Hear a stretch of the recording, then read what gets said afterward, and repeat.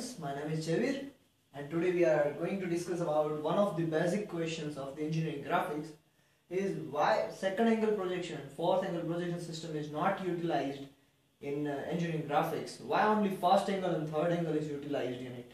Okay, within a few minutes, within a three minutes, I am able to answer this question. This is very basic question and many of the students are not able to answer this question. That's why I am sharing this uh, video with you. Okay, so first of all, the uh, in order to understand these things, you need to understand why, uh, what is the phenomena behind the projection of point. Suppose I am taking a point at uh, 30 mm distance from the vertical plane, the vertical origin, and the 20 mm distance from the uh, horizontal origin. So, in order to project this view, what should be the answer? The answer must be in this case the main phenomena of the projection of point, what is we need to understand is horizontal plane rotation. Whatever will be the projection of the point on a horizontal plane, that must be rotated in a downward direction. Because our page is having one reference line only. So what should be uh, drawn at the above side and what should be drawn at the below side, that should be known by us. So in order to do that, the main phenomena is the horizontal pl plane must be rotated in the downward direction. So whatever will be the projection of the point on the horizontal plane, that must be rotated in a downward direction. It means in a horizontal plane, the 30 mm distance, it will indicate A double dash. A double dash means point A projection on a horizontal place. Horizontal plane. The horizontal plane is uh, defined by the double dash. Okay, and vertical plane projection is defined by the single dash. So the point A is 20 mm above in case of vertical plane. That's why it is A dash will be at the 20 mm. Okay, in the same manner, if the point is lies in a third quadrant, then the horizontal plane must move in an upward direction. So whatever will be drawn on the upward direct upward side of the reference plane, that must be horizontal plane in case of third angle projection.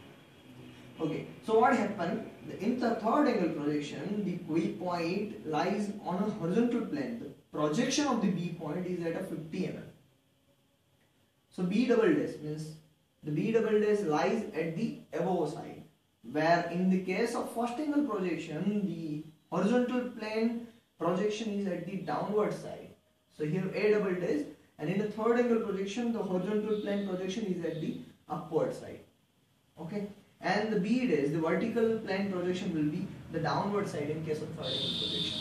This is first angle, second angle, third angle, fourth angle. This is known by everyone. Very simple. Okay, now let's come to the uh, projection of uh, elements. So in this case, I am taking four questions and the four answer of it. Let's see the first element. I am doing one element where observer is looking from this side. Generally, this this phenomena is fixed one thing is fixed, the observer direction of viewing is fixed and the horizontal plane rotation must be fixed. This is by default assumption from the engineering graphics and now observer is looking from this point, this element is placed in the first quadrant. So what happened? The front view will be drawn here on a vertical plane and the top view will be drawn here on the uh, horizontal plane and as per the projection of point phenomena, we need to rotate the horizontal plane in a downward direction. It means whatever will be the top view, that must be drawn at the bottom side of the plane, of the reference line. Okay. So this one will be the answer. The front view will be the, at the upward side and the top view will be the, at the downward side. Let's take third angle projection system. This one is the third angle projection system. In this case, the observer is looking from this point only. So the front view lies over the vertical plane and the top view will lies over the horizontal plane. Right? The top view is lies over here. So from the first, you know, the assumption from the projection of point, the horizontal plane must rotate in upward direction. So in the third angle projection system, the top view will be at the topward side and the and the uh, front view will be at the downward side. Okay. Now we are dis uh, discussing about something interesting or which we need to know. The second angle projection system, the second angle projection system in which uh, uh, the uh, the pro product is placed in case of second quadrant. The second quadrant, it means observer is looking from here, so the front view will be on the topward side and the top view will be at the at the in, in the horizontal plane.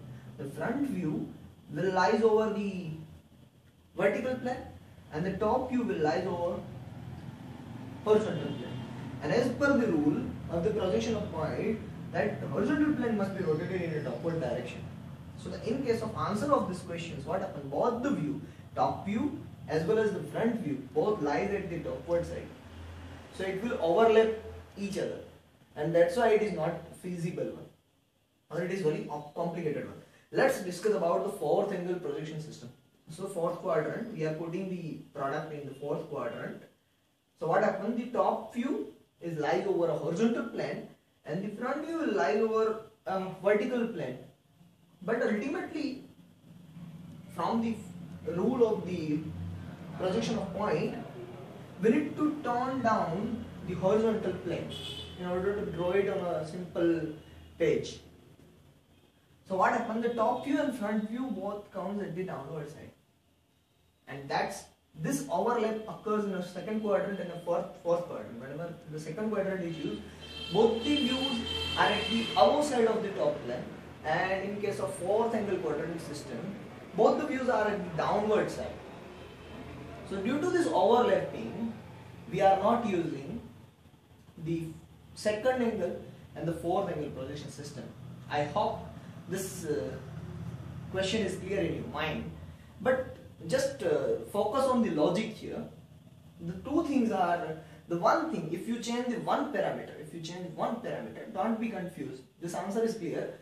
Now if you are changing the one parameter, I am changing only the viewing direction of the observer. Now I am thinking the observer is looking from the topward side. If I am changing this direction, so what happened? Instead of rotating this horizontal plane, now we need to rotate this vertical plane because observer is at the top side.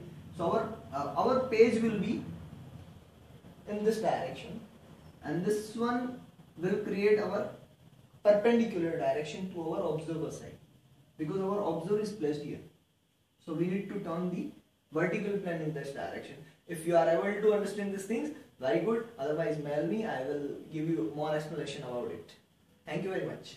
Give your comments.